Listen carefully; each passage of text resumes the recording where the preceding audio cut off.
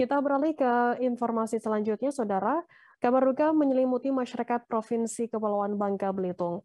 Mantan Gubernur Bangka Belitung pertama periode 2002-2007, Ahmad Hudarni Rani berpulang ke rahmatullah.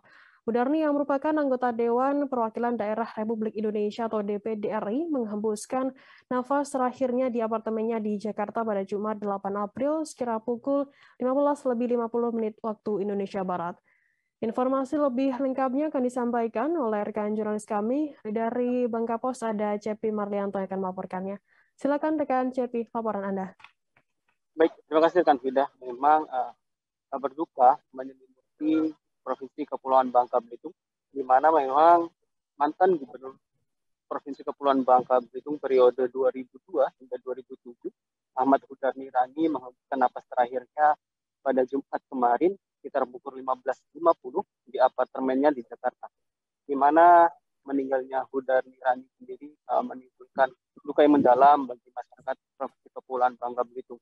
Selain menjadi mantan gubernur Bangka Belitung pada periode 2002-2007, Huda Nirani juga saat ini masih aktif menjabat sebagai anggota Dewan per, Dewan Perwakilan Daerah Republik Indonesia Dapil Bangka Belitung seperti yang diketahui memang Hudar Nirani sendiri meninggal dunia pada Jumat kemarin sekitar pukul 15.50 dikarenakan uh, sesak napas di mana berdasarkan dari keterangan dari menantu almarhum yakni Yokeu Adi Nursi, Yokeu Adi di mana memang almarhum sendiri sebelum dinyatakan meninggal dunia memang sempat menggunakan sesak napas usai-usai melakukan sholat Jumat di Jakarta pada Jumat kemarin. Namun karena takdir sudah berkata lain pada sekitar pukul 15.50 telah mengalami sesak napas yang hebat, Udani Rani sendiri dinyatakan meninggal dunia dan belum sempat dilarikan ke rumah sakit. Pada saat itu juga saat dinyatakan meninggal dunia memang pihak keluarga telah uh, dikabari oleh sang supir di mana saat itu memang almarhum sendiri berada di Jakarta hanya berdua dengan sang sopir saat usai melakukan tugas uh, kunjungan ke Jakarta. Di mana memang setelah dikabari tersebut sejak uh, setelah usai salat Jumat, memang keluarga berencana akan menyusul uh, almarhum ke Jakarta. Namun saat uh, sudah memesan tiket dan melakukan persiapan segala macam, namun pada sekitar pukul 15.50 tadi kemarin uh, keluarga sendiri dikabari bahwa Hudani Rani telah di mana menurut keluarga sendiri Hudani Rani merupakan uh, sosok yang sangat family man di mana Hudani Rani sendiri sangat uh, peduli dengan keluarganya. Setelah salah kesibukannya memang Hudani Rani sendiri sempat selalu menyempatkan diri untuk bertemu dengan uh, keluarga terutama tujuh orang cucu yang dirinya tinggalkan pada saat ini. Di mana memang Hudani Rani telah diberangkatkan ke Pangkal Pinang pada pagi tadi dan tiba di Bandara Depati Amir sekitar pukul 10.30 waktu Indonesia bagian Barat. Setelah itu memang Hudani uh, jenazah sendiri langsung uh, dibawa ke rumah duka yang ada di jalan yang ada di Kelurahan Batin Tika, Kecamatan Taman uh, Taman Sari, Kota Pangkal Pinang. Di, uh, di rumah duka sendiri sekitar uh, setengah jam. Kemudian jenazah dibawa ke Masjid Muhajirin Kota Pangkal Pinang untuk dilakukan uh, sholat jenazah. Di sana sendiri uh, Gubernur Provinsi Kepulauan Bangka Belitung Edi Rosman yang uh, melafazkan azan bagi uh, jenazah sendiri. Seperti ketahui setelah baca sholat zuhur tadi jenazah langsung disemayamkan di makam pahlawan Patriwalaya Kelurahan Dul, Kecamatan Pangkalan Baru, Kabupaten Bangka Tengah. Di mana memang sampai saat ini uh, prosesi pemakaman masih terus dilakukan.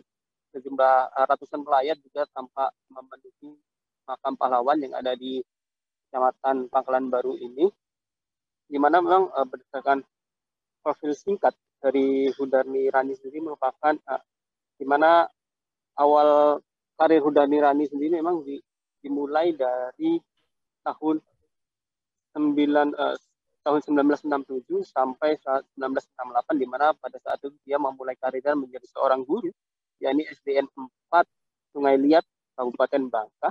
Setelah itu Hudani Rani kembali bekerja menjadi uh, bekerja di PT Timah dan sempat menjadi staf direksi pada tahun 1993. Untuk karir politiknya sendiri memang Hudani Rani cukup uh, jamik, di mana telah melibatkan diri dalam organisasi organisasi seperti Pemuda Muhammadiyah, kemudian AMPI, Kaya Indonesia, SOKI, KNPI, Persahi, Persasi, dan terakhir masuk ke dalam partai golongan karya. Dan pada tahun 1997-1999, Hudani Rani sendiri terpilih menjadi Ketua DPRD Kota Pangkal Pinang.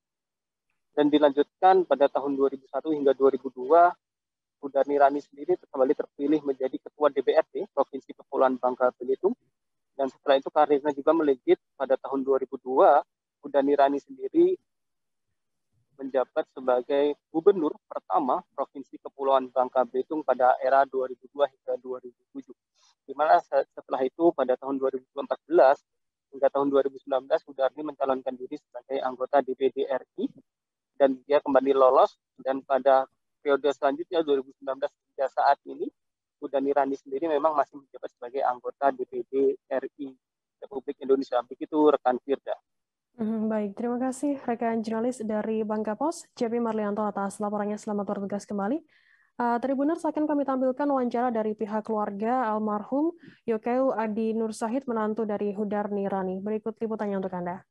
Saya dapat kabar sekitar uh, pukul 15.50 lah jam 4 kurang dikabari bahwa Pak Kudarni sudah tidak ada.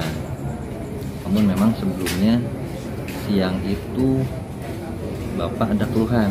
Sesak nafas itu disampaikan oleh supir beliau di Jakarta.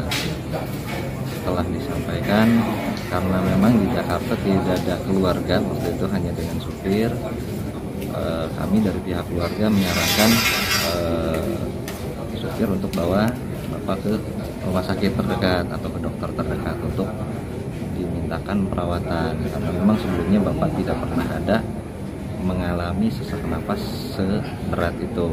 Nah, namun di saat supir mau bawa beliau untuk ke dokter, beliau bilang cukup dengan dipijit aja.